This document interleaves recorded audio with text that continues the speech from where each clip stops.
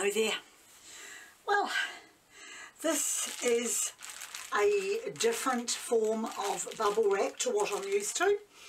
Uh, it came with a package I received a while ago and I decided to keep it. I thought, well, it might come in useful for packaging something else for me. But today I've decided to try using it with my painting. I've been watching some uh, other YouTube artists using bubble wrap for the acrylic pours. Uh, one in particular, Gilly Kube from the Sunshine Coast in Australia, has done some amazing artwork using bubble wrap. So it was on my list of things to try and that is what I'm going to do. And the colours I'm using today are Yellow Deep, Turquoise, uh, Crimson Red, purple and a little bit of navy blue and of course finally the titanium white and I'm just going to put them in patterns across the plastic and then dip my canvas here onto the bubble wrap to press it down and see what sort of a picture I can make from that. So I will get started.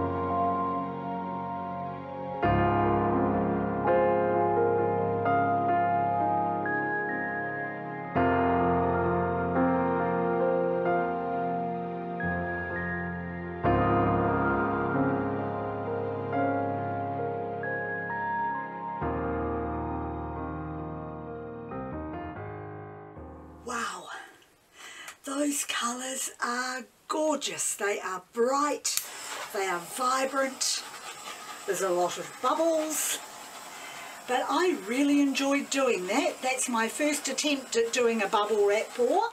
I've got a tiny wee gap there. It's a bit flat. I can't see any others, but I'm going to get my balloon, my little balloon of water that I use for repair jobs, and I'm going to do what Gilly Kube does, and I'm just going to put dip my balloon into my paint, which is not on camera, but I've still got here, and I'm just going to fill in that little gap. which is right there. That's it. And that will just make sure that the canvas is completely covered. And if I've missed any bits on the edges, I will do the same thing. But um, there's, as I said, there are a lot of bubbles, so I will need to keep doing this to get them all out. Well, they will eventually pop. I haven't got any um, silicone in this paint so it's just bubble holes that you get to see but that's beautiful and I love having the edges those sort of up colours going right through to the turquoise and navy at the top. And there seems to be a pretty good mix of colours. There's probably more purple and red but the rest mingle in really really well. Right, so now I'm going to bring it up into the light towards the camera to show you how beautiful those colours really are. Unfortunately, the sun is shining, well, fortunately, I suppose, the sun is shining through the window now, so you will get it in sunlight partially as well. And that really is just gorgeous loving all those colours. That is the way I think I would want to hang it up. Just so pretty. And I'm happy with that, my very first attempt, and I am going to keep trying it. I really, really, really like the line effect through there. There's several of those line effects where the colours sort of branch in, uh, particularly over here and um, down in here where it's almost as though the paint is trying to make cells. But that's it for my effort for today. So once again, thank you very much for joining me and I'll see you next time.